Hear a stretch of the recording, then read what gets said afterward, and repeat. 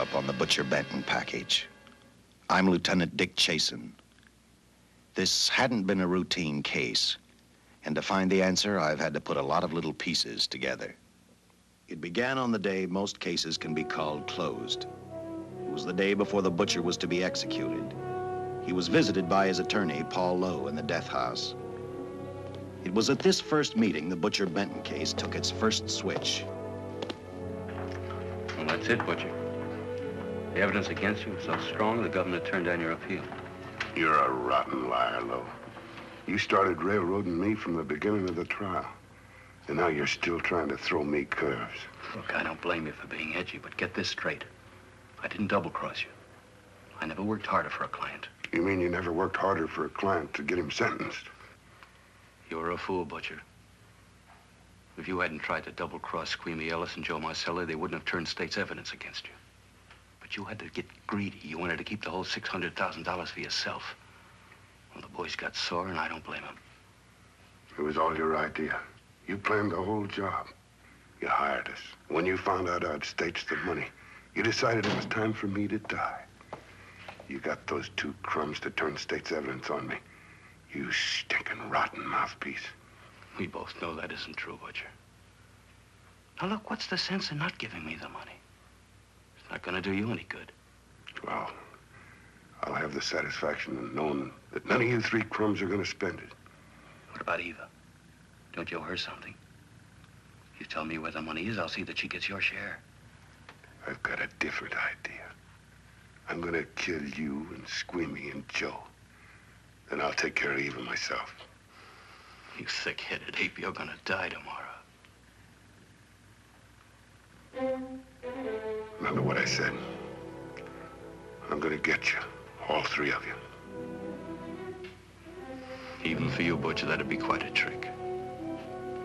So long, dead man. Remember what I said? I'm gonna kill you. All three of you.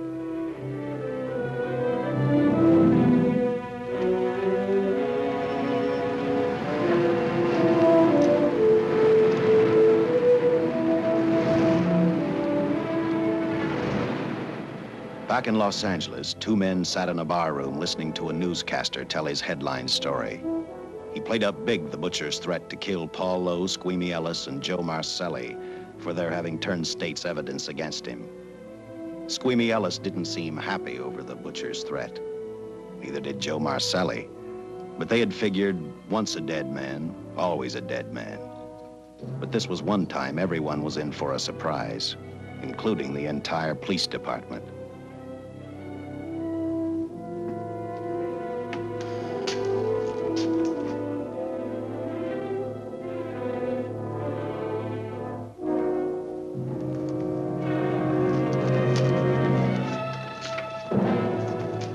You seen the headlines, Captain?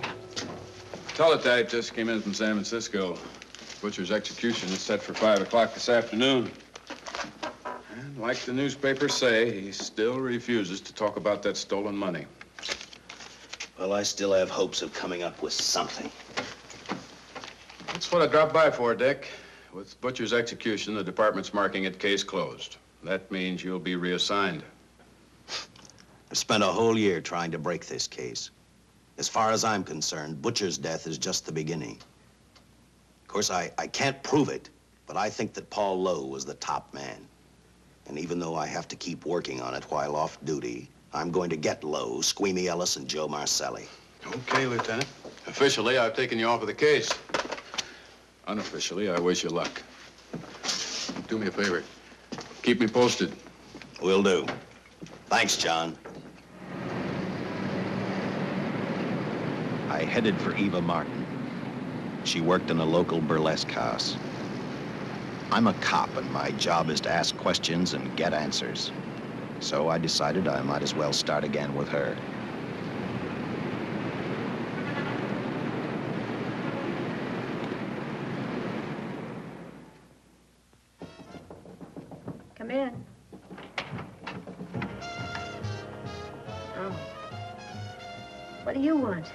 Like to talk to you.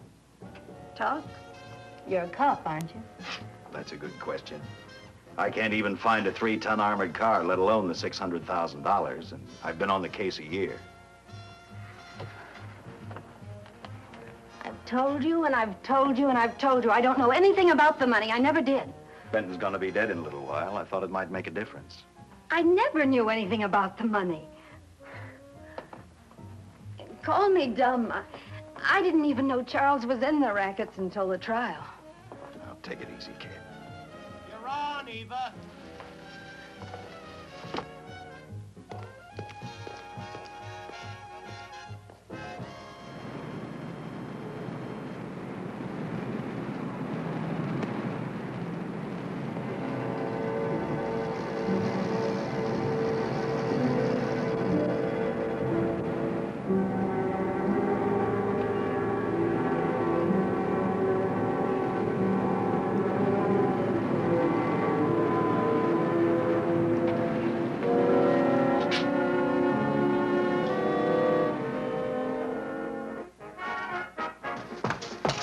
Here's your wrap.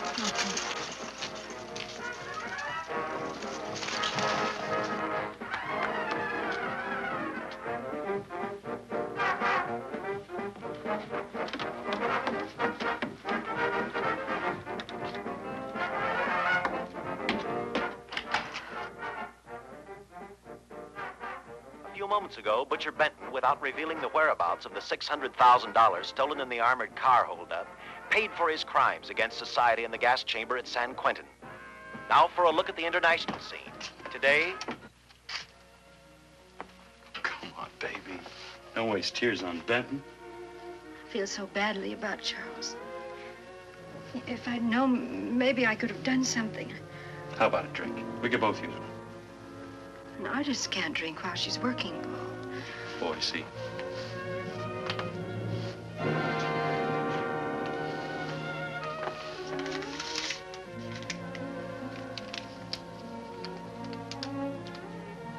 What's that? Well, now what's the matter? It's a message from Charles. He told me to open it if he died. Finale, Eva. All right. How about a steak after the show? No, thanks. Not tonight, Paul.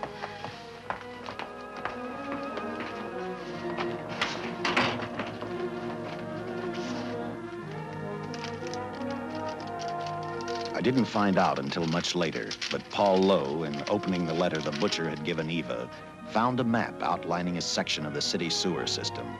And clearly identified was the spot where the butcher had hidden the stolen payroll. He replaced it with a $50 bill. I guess he figured $50 to gain 600,000 was not a bad day's work.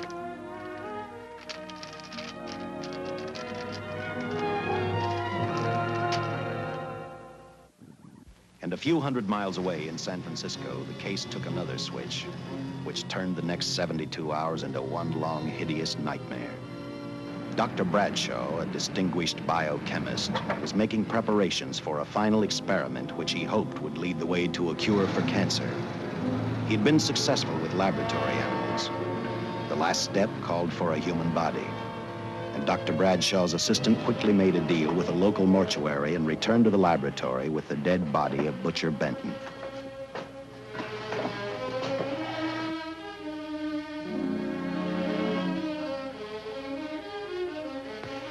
You made good time. Well, I didn't waste any. Any trouble? No, I just handed the money over and moved the body into your station wagon. That was that. Good. Uh, get a syringe.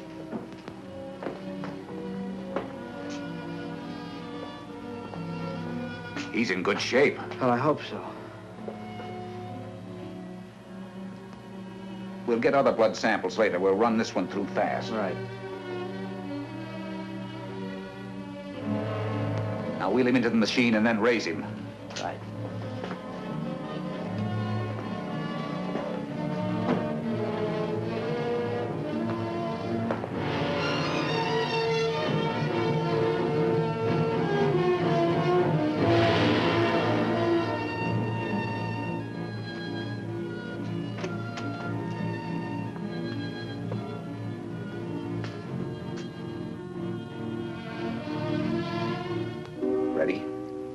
Ready? mean you're going to give him 287,000 volts? Yes, yes. I'll get the fluoroscope set. We'll check with that before we start dissecting. Turn off the lights.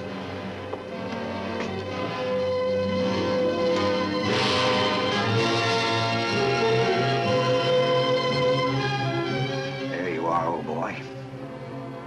If you respond properly and my theory is sound, you'll be more famous dead than alive. Throw the switch.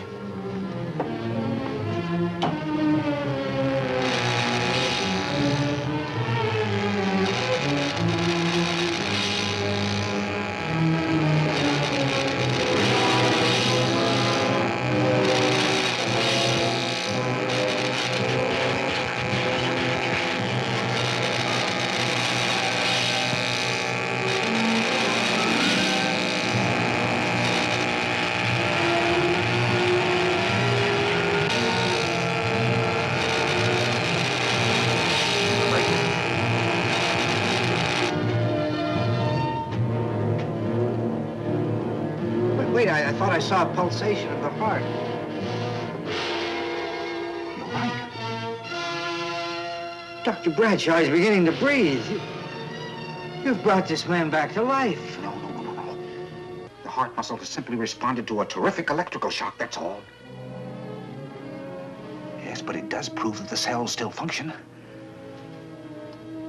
Dr. Bradshaw, he is alive. A shock reaction, it can't last.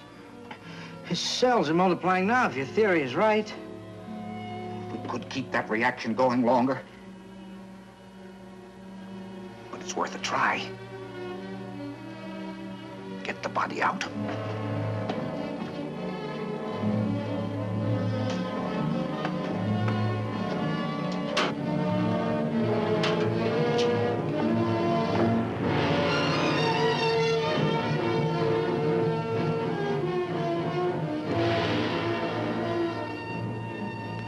Get some adrenaline from the supply room. Some amyl nitrite, too.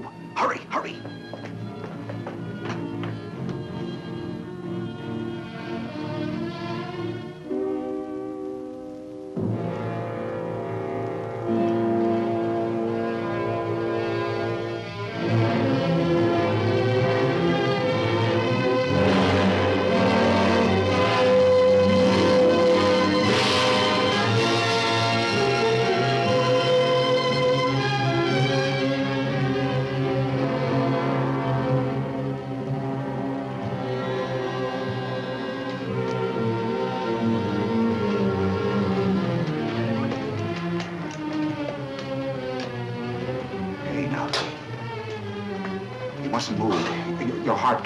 The strain.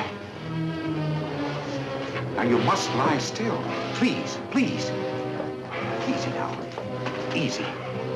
Easy. You must lie. Easy, please. Oh! oh. oh.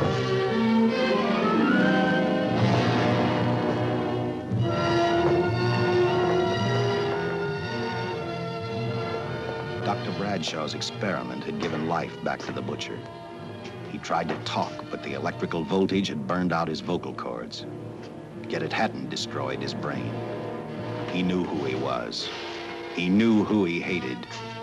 As he stumbled about the room, I think he thought only about one. thing. Kill Lowe, Squeamy, and Joe Marcelli. The tremendous electrical voltage that Dr. Bradshaw had given the butcher had increased his cellular structure to the point where he was no longer a man. Dr. Bradshaw's experiment had created a vicious, brutal animal with an almost inconceivable amount of strength.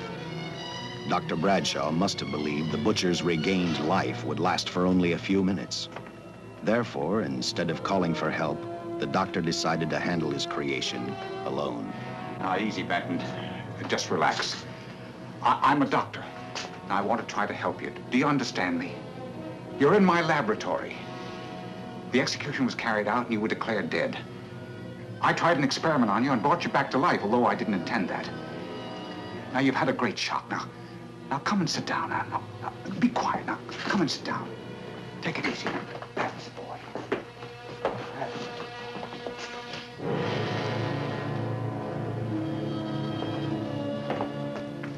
Careful. His reactions are violent. How do you explain this? Each cell must have multiplied a hundred times. perhaps thousands. His strength is unbelievable. No, no, no, it's too late for the amyl nitrite. I want to get some blood samples, uh, make some tests on him, find out what's happened. Get me a syringe.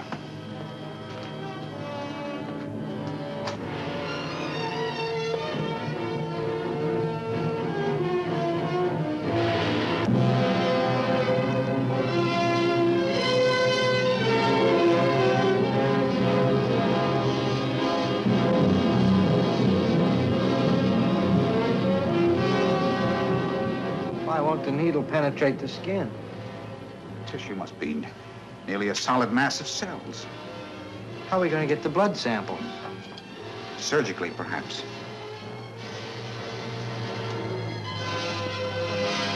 Now, easy, Benton. Take it easy. You can't leave here now. I'm responsible for your being alive.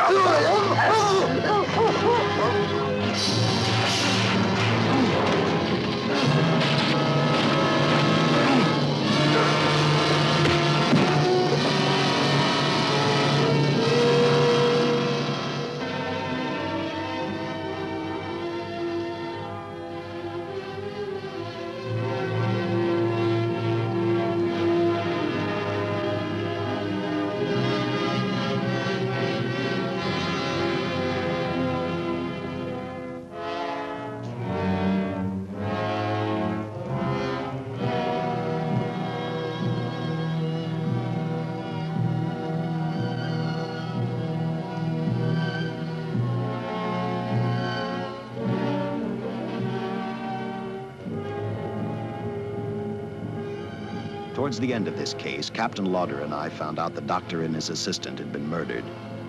But I'm getting ahead of my story. The butcher didn't know how he had been brought back from the dead, and he didn't care. All he knew, he was alive. Then this monster-made man started thinking about Los Angeles.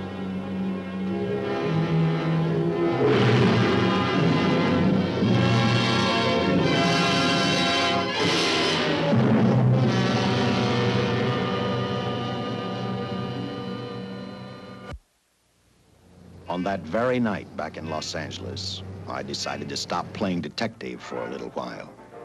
I went to the burlesque house to ask Eva to have dinner with me.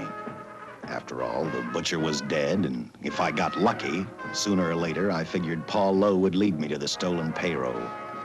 In a way, that possibility made me even feel better.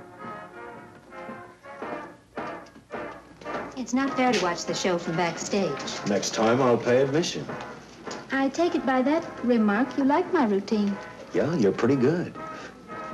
What I can't figure out, though, is why you stay in a place like this. It shouldn't be hard for someone like you to get a job in a class spot. If you weren't a detective, I'd be willing to bet with a line like that your next remark would be, how about dinner? Well, not exactly dinner, but a hamburger might be a good idea. If you're asking in an official capacity, I can't say no. I'm off duty. For the past six months, all I've ever called you is Lieutenant Chasen. Do you have a first name? Uh-huh. Dick. Give me ten minutes for a quick change because you just made yourself a date, Lieutenant. I mean, Dick.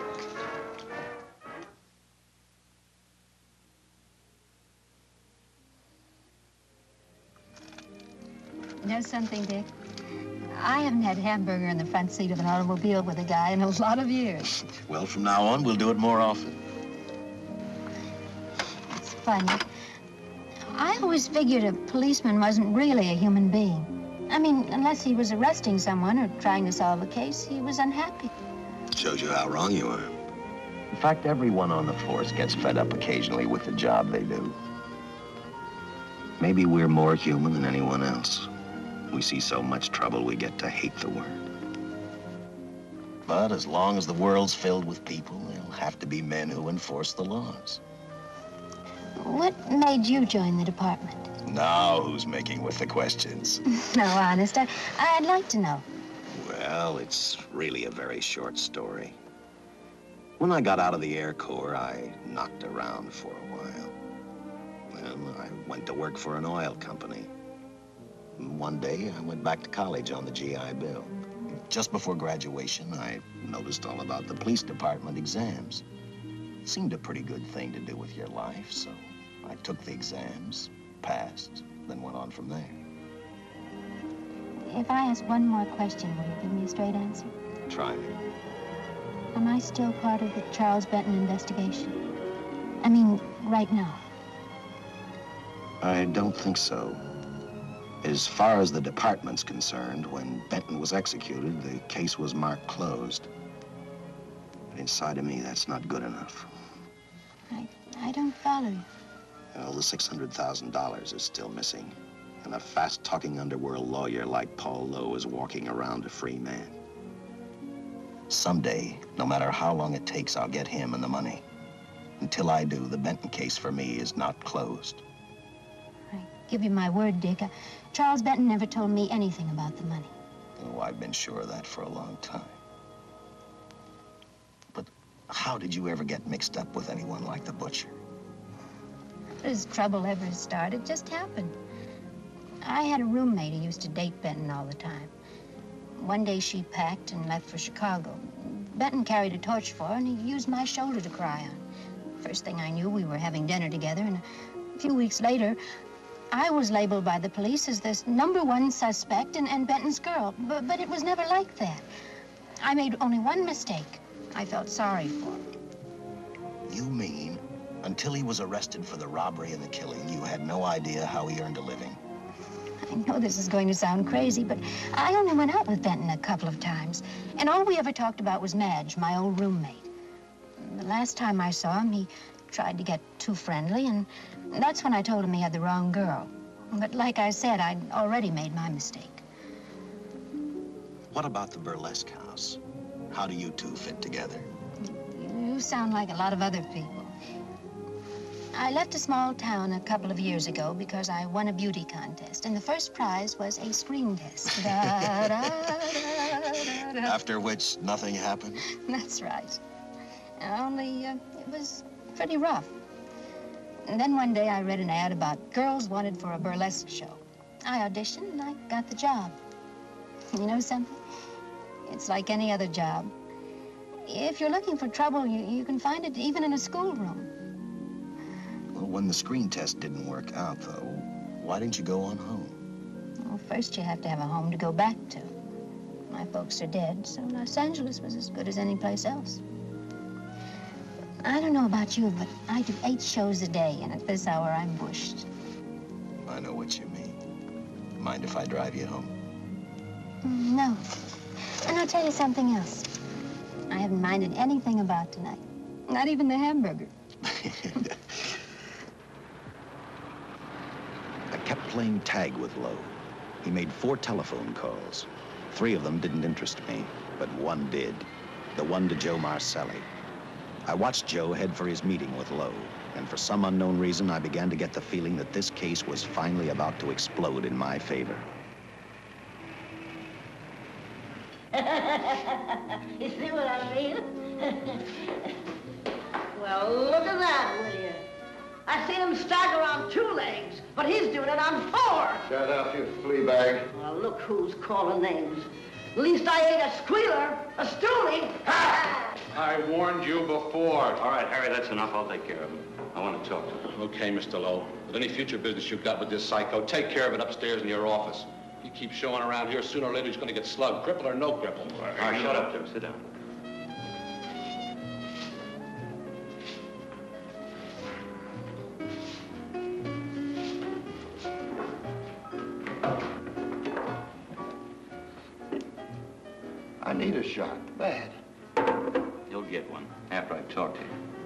Sober enough to understand? Yeah, I run out of dough. No wonder. Look at you. You used to be the best torch man in town. Now I don't think you could crack a safe if you knew the combination. No jobs. Nobody wants me since I turned states on Benton. That's your doing. You talked me into All right, quit crying. I got a job for you. If you can stay off that stuff long enough. You know I can if I've got a job. How much? What is it? It's two grand in it for you. Where? Right near where he pulled the job. Interested?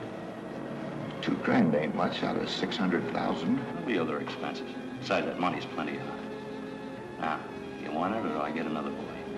I'll do it. How soon do you want me to go to work? Set it up for tomorrow night.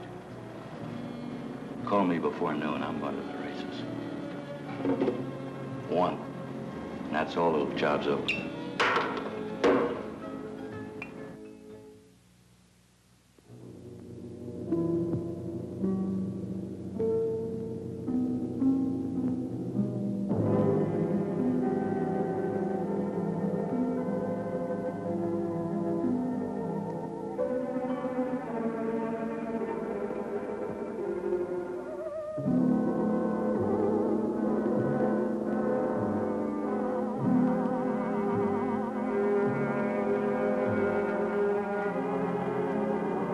Butcher was walking slowly toward Los Angeles.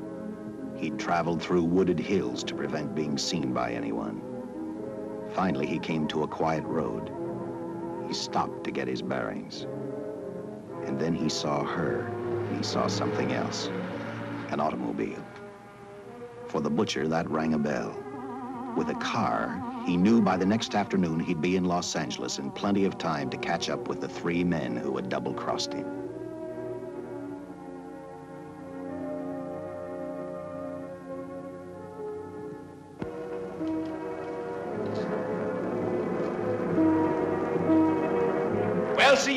Gentleman to be helping strangers in distress. I hope you don't mind me using the babe here as bait. Quite a dish, isn't she? But that's what she gets paid for. Bait, that is. Yes, sir. She's a real shaker artist of my outfit. Carnival man myself. Just call me Connie. Yeah. well, friend, we're in a little bit of difficulty here. Got a flat tire, brand new car, no tools in the back. Why, some of these dealers make my carnival grifters look like babes in the woods.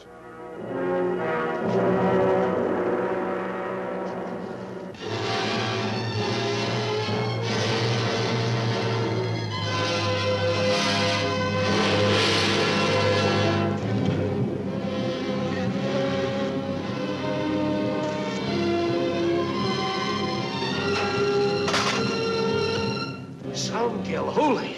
Uh, say, who you with, friend? Uh, let it down. Let it down. No matter who you with, friend, uh, believe me, I can do better for both of us. I'll make a fortune for the both of us. An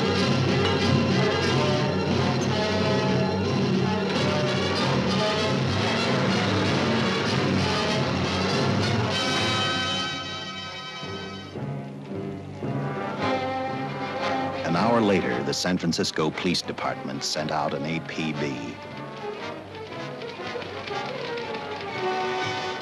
Squads were sent to various parts of the countryside.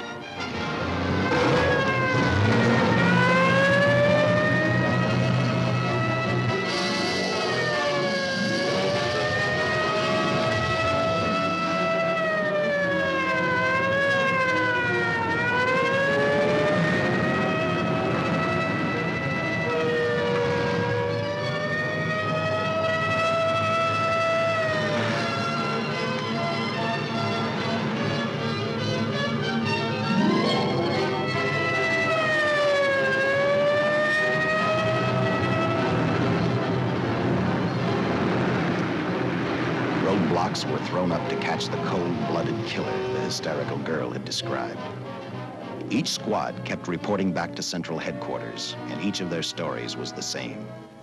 So far, none of them had spotted the car the killer was driving. Orders were given to shoot to kill, because from the girls' further accounts, they realized they were dealing with a maniac.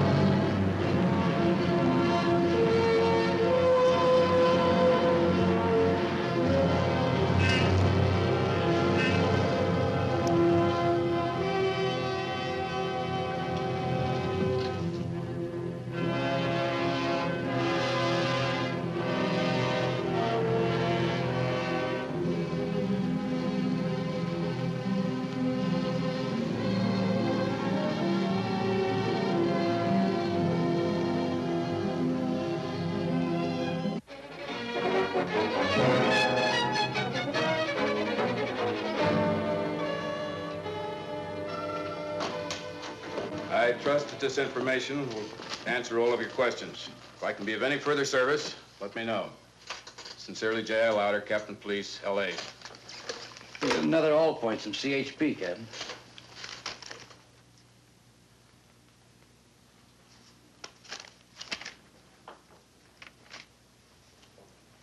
These reports sound like they come from a bunch of loonies. You sure do. There it is. Sergeant. Yeah. I want Lieutenant Chasen to look these over as soon as he comes in. All right, Captain.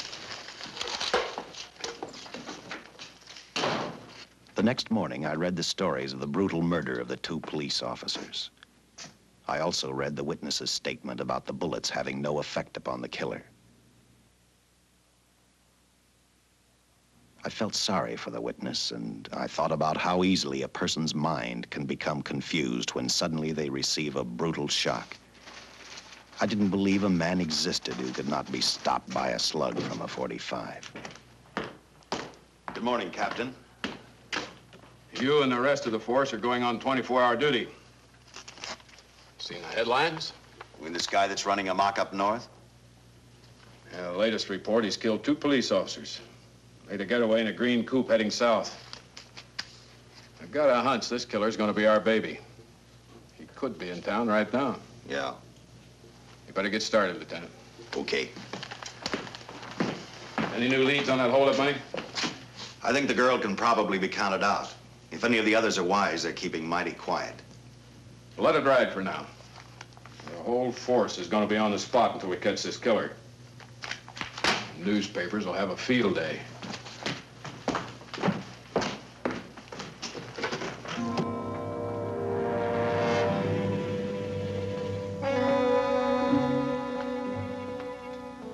We were wrong about two things. The killer was already in our city, and we didn't know he was Butcher Benton. He headed straight for Eva Martin. He went to her dressing room to get back the map he had left in the envelope with her. He wanted first to check his money, then catch up with Lowe and the others.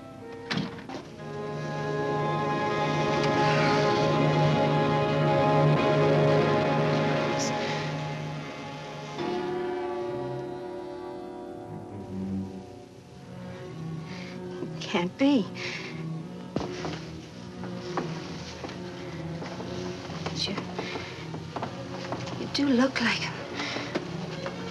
Only different somehow.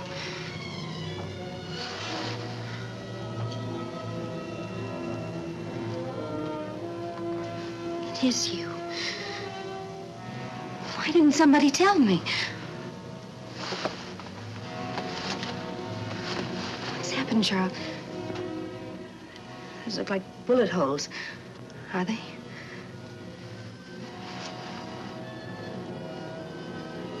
There isn't even a mark.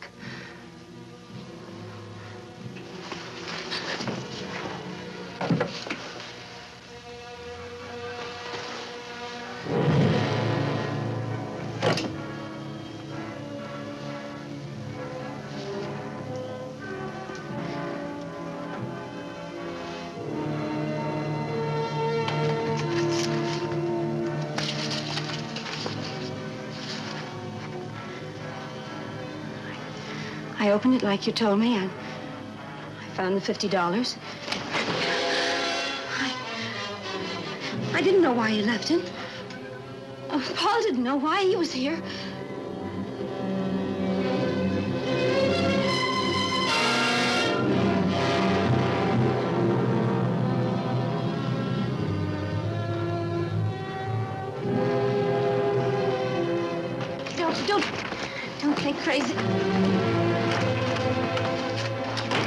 The name of Paul triggered his hate. He left her dressing room and started for Squeamy Ellis and Joe Marcelli's place. Because he knew, with them out of the way, Paul Lowe couldn't open the strong box where the money was hidden. He thought of Squeamy and Joe first. He was saving Paul Lowe for last.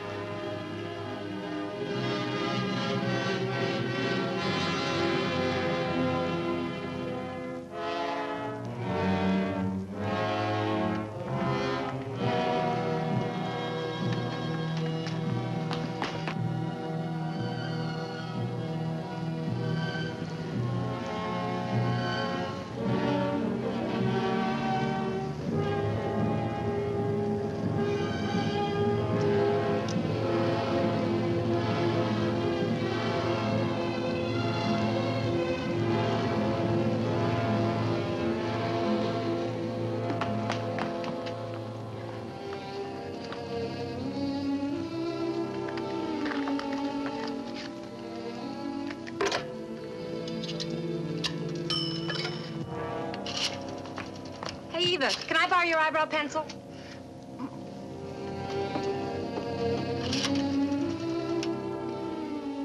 Operator, get me police headquarters. Lieutenant Chasen, please. When do you expect him? Well, uh, tell him Charles Benton is alive, and, and even bullets can't stop him. I'm not crazy. Just say a friend of Charles. He'll know.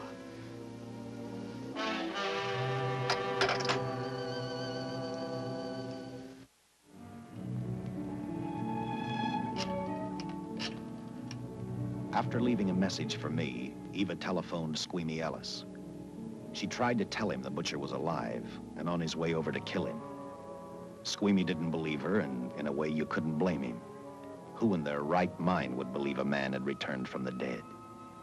What Squeamy actually believed was that the butcher, before his execution, had hired a killer to carry out his threat.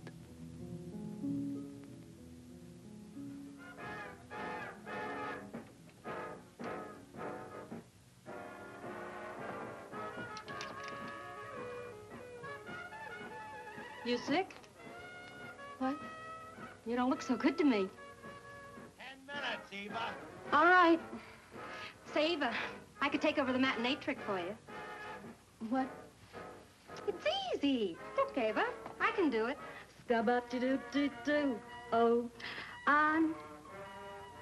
Francine, I just thought of something. Yeah? Eva agreed to let Francine do the show. She hoped she'd be able to interrupt the butcher before he arrived at Squeamy's hotel. Or, failing that, at least be able to warn him to stay out of sight. You wanted me, Captain? Yeah, I just had a rundown on those fingerprints of the stolen car up north. We got nothing on the driver who was killed or the woman with him. Take a good look at these. There's something funny about these. Yeah. And The boys in the lab can't figure it out either. Those are the killers. They were found on the steering wheel. Looked like they'd been stamped in with a steel die. They sure do. These are Butcher Benton's. What? Well, they look the same to me. How do the lab boys explain that? They don't. Their best guess is a twin brother. An identical twin could have the same pattern of whorls with only slight variations. Ever hear of the butcher having a twin brother? No. Even if he did, it wouldn't explain these freak prints. You didn't pick up your message, Lieutenant. Some wacky dame calls you. And she says Charles Benton is alive, and bullets won't stop him. If we buy the twin theory. Who was she? Where'd she see him? Well, she wouldn't leave her name. Sounded kind of hysterical to me. Said she was a friend of the butcher's. Eva Martin. Get over to the Follies and see what that girl knows. Yeah. Some guys have all the luck. I never drew an assignment to the Follies.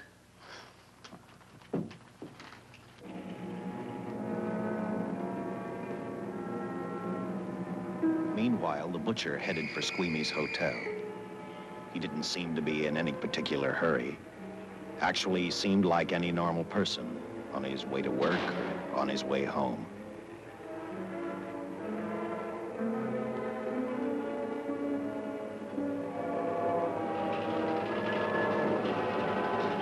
He rode up Angel's Flight, arrived at the top, scanned the hotel building, and then noticed the only exit from Squeamy's apartment, fire escape.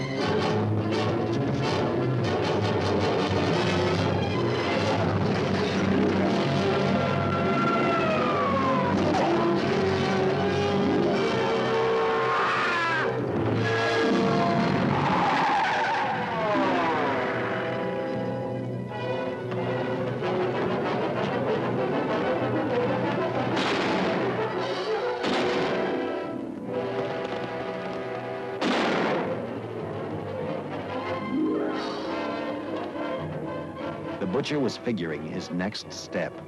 And as he looked at the dead cop, he thought about Paul Lowe, the next man on his list.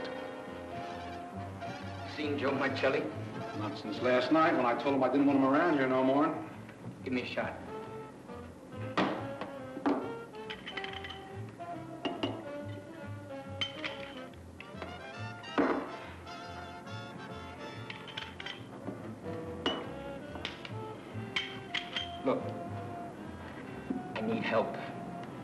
Found out that Benton's hired a killer to get me.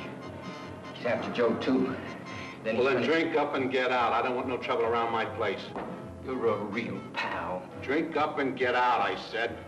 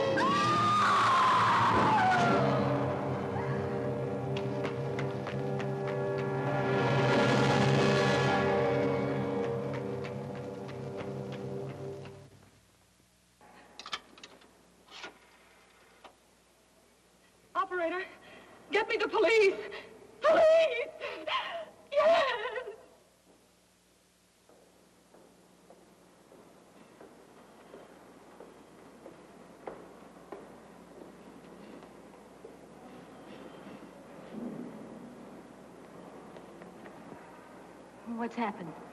Guy named Squeamy got thrown from the fifth floor. He's deader than a mackerel. Customer of mine.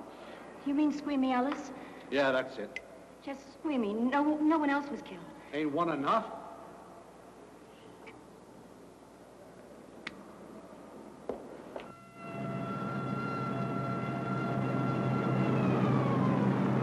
I tell you, the bullets never even fazed him. He must have been wearing a bulletproof vest. God help us when the papers get a hold of this.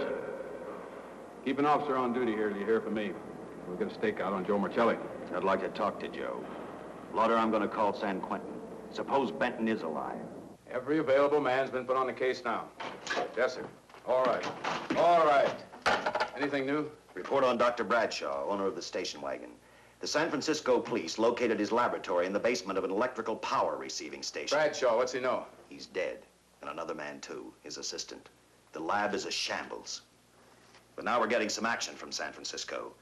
Benton's body never arrived at the mortuary where it was supposed to go. An attendant there finally broke down, admitted he picked up some quick cash by handing the body over to a man he was unable to identify. The man was driving a station wagon. Blasted man, the chief's on my neck, and the commissioners are on his, and the mayor's on theirs. Now, am I supposed to tell them that our killer is a dead man? They found a notebook in Bradshaw's lab. It ties his experiments in with a Professor Dwiggins at Caltech. I hope to hear from Dwiggins soon. Captain, report from the valley on a hysterical woman. Reports the presence of the killer. There's the location. Let's go.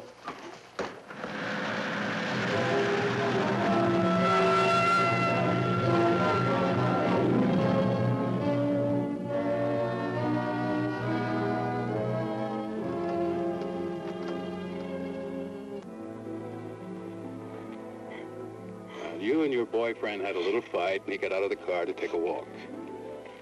You noticed that he walked down toward the sump area in the direction where you'd seen those lights a short while before. What happened then, miss? Please try to tell us. Well, I just sat there a few minutes, I guess. I was pretty mad. Then there was a loud crash, like, like heavy metal, sort of, from down here. I got out of the car to get a better look. I heard Jimmy cry out something. I couldn't make out the words. Then down here, in a patch of light, was Jimmy. And, and coming toward him was, was this man. Big man. Lifted Jimmy up over his head like, like he didn't weigh a thing. Jimmy screamed. Just once. Before he broke Jimmy's back. I heard it snap. Not far away. Then I, I started running till I found this house. They let me use the phone. Thank you, miss. We'll see that you get home right now. O'Malley, see that the young lady gets home all right. Paul Lowe, while driving to his office, heard a radio commentator report the murder of Joe Marcelli. And what shocked him most was when the broadcast identified the killer as possibly being the butcher. Lowe headed straight for Eva Martin at the Burlesque Theater. Oh, you gave me a start, Mr. Lowe. What are you doing here? Where's Eva? Oh, I'm taking her place. I'm going to wear her costumes. What's it to you? I asked you, where's Eva? Hey, don't get physical. And watch your tone of voice, Buster. I told you. Little Eva isn't here. I could see that for myself. Where is she? She's at police headquarters. That's where she is. Yes, sir. No, sir. Captain Lauder's still with the mayor. The killer dropped out of sight. He was last seen in the Hollywood area. Yes, sir. We, we know he's dangerous. Every angle's being covered. Yes, sir. I, I'll tell him.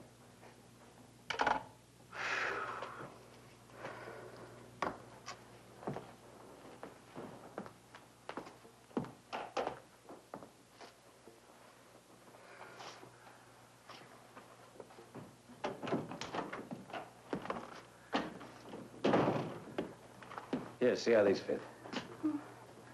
Low heels. I'm sorry. It's the best our wardrobe department can afford. Any idea how soon the captain will be back?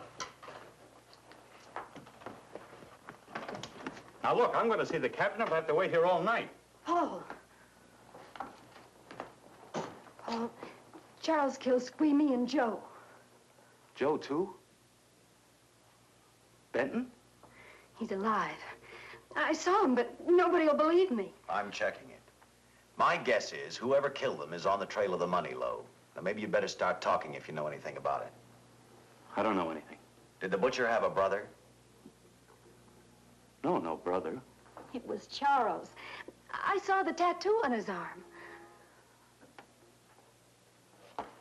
Look, I demand police protection. Where's the money, Lowe? You heard me. I demand protection. I know my rights. We put stakeouts on your office and home. Well, that's not enough. It's enough as far as we're concerned.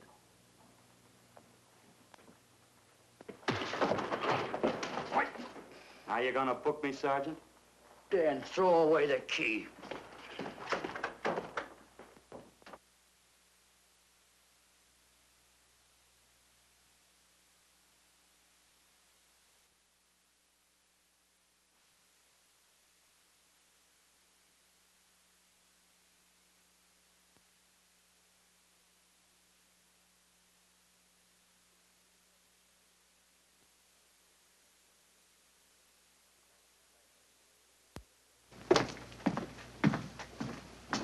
Thank you. Come up with anything yet, Dick? Oh, we've checked every hotel, motel, and rooming house in town. We've run a cross-check on every hangout Butcher ever used. Net results, blank. This is incredible. We not only discover a dead man turned killer, but it's beginning to look like he plays ghost, too. He's somewhere in this city, and if we have to take it apart brick by brick, we've got to get him. I may be way off, but I think Paul Lowe could tell us a lot. Maybe. But it's a cinch he's not going to. Well, suppose he had no alternative. You better grab some coffee. Your mind's beginning to play tricks on you. No, now, wait a minute. When Lowe came to us for police protection, it was because he was scared stiff the butcher would add him to the list of Squeamy Ellis and Joe Marcelli. Go on. It figures, too. When he slugged the sergeant, he knew we'd book him right away. Oh, this Lowe's a pretty cute character. But we can play the same game. You mean we'll threaten to release him? Well, not exactly. You tell him you realize that he was excited, that throwing the punch was accidental. Tell him we're not going to make a charge, that he's completely released. Lieutenant, you know we can't do that. Lowell made his first mistake when he hit the sergeant, and that'll get him a year. As far as the department's concerned, at least it's a small victory. If my hunch is right, Lowe won't want to be on the streets with the butcher looking for him. And he may talk and talk a lot. Enough maybe for us to get rid of him permanently. Even lead us to the butcher. If he's frightened enough, that might work. But if it doesn't... No, Dick, I'm not going to release him. I want him out of my way so bad I can taste it, but not bad enough to be responsible for getting him killed. The good thing about that, Captain, is the fact we know it, but Lowe doesn't. Let's give it a try. All right, Lowe. Come on out. I think you'll find everything in there. You're free to go, Mr. Lowell. Wait a minute. Who do you think you're kidding? You arrested me for assaulting an officer. Court, I'll plead guilty. With luck, I might get off with six months. For a lawyer, you're forgetting a very important point. If no charge is made, there's no trial. It was a tough day for everyone. We figured your nerves were on edge, and when you threw the punch, you didn't know what you were doing. I've squared everything with the sergeant. It's all over, all forgotten. Yeah? Why'd you bring a stenographer? Simply because I wanted a record of our conversation at the time of your release. Okay, Lowe, let's go. Oh, wait a minute. Once out on those streets and I'm a dead man. You let me go, you'll be responsible for murder. Oh, come off it, Lowe. You're imagining things. You know the butcher threatened to kill me. You set me free, he'll do it. Well, that's just a risk we'll have to take. But the way I look at it, Mr. Lowell, you'll be okay. Look, Captain, I'll make a deal with you. You keep me here, and I'll tell you how to recover the money. Maybe even catch the butcher. No deals, Lowell. You'd probably tell us anything just to stall for time. Come on, let's get out of here. Now, wait a minute. All right. I'll tell you the truth. Start taking this down. I, Paul Lowe, hired Butcher Benton, Squeamy Ellis, and Joe Marcelli to pull off the armored car holdup. And then Lowe continued with his confession. He told us about finding the map. He showed us the exact location of where the butcher had hidden the stolen payroll. And he gave us a most important answer. The explanation as to how the butcher was able to elude detection. His means of escape was the sewer system beneath our city.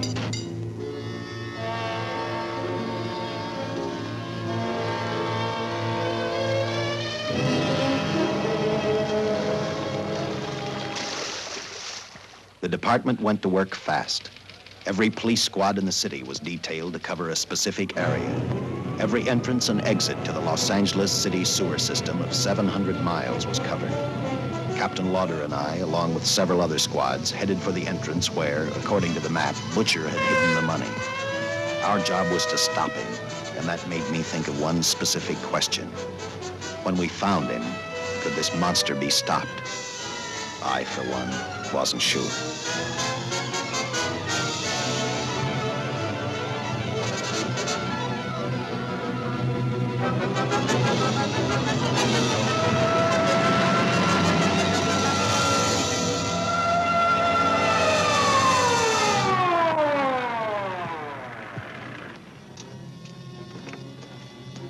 Everything all set, Lieutenant? City engineers mapped out each possible exit. The squad of officers are spotted at every point. If the butcher can be caught, now's the time. Well, after I talked to Caltech, I called on the fire department for a little help. The professors thought a flamethrower might stop him. Flamethrower? I suppose their boys have had a chance to join our squads by now. I see we have one with us here. Have you thought about what'll happen if this doesn't work? No. I've been praying too hard that it will work.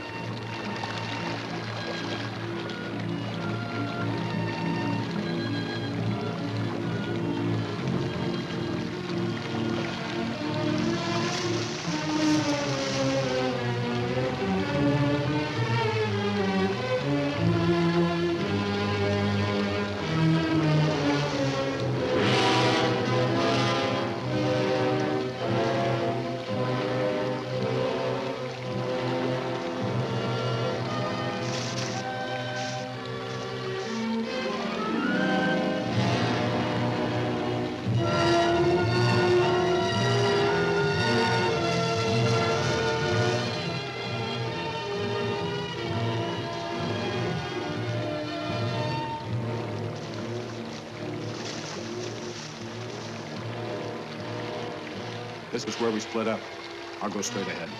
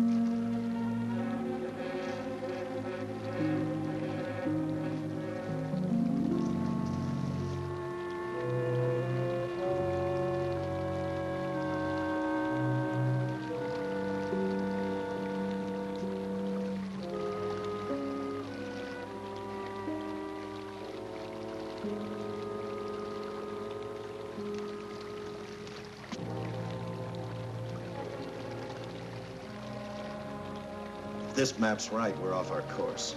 We'll have to backtrack.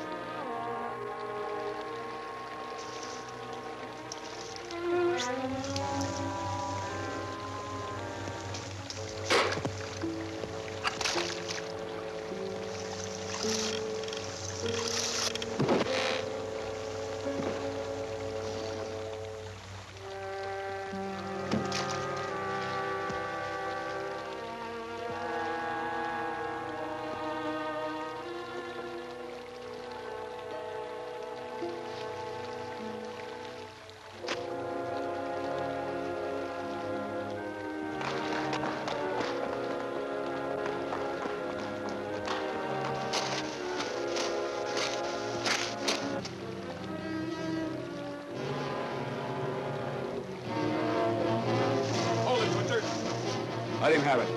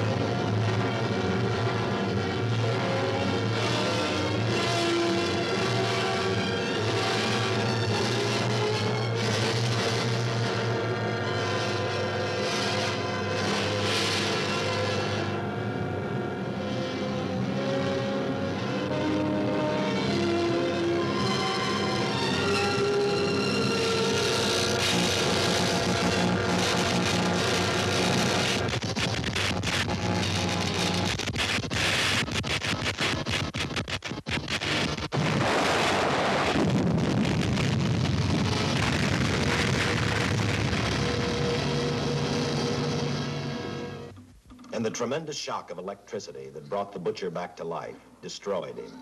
The $600,000 stolen in the armored truck robbery has been recovered. Case closed. Well, here are the scientist's comments for your records. I had to fill in a few spots with my own guesses, but I guess that's about the size of it. Did you get any sleep? Oh, some. Not much. How's the girl today? Well, they called the hospital about an hour ago. She'd gone. Gone? Where? She told him she was a working girl and that she'd been away from the job too long already. Quite a girl. Yeah. Say, uh, how about that time off I've got coming? 48 hours, beginning right now. Get some rest, Dick.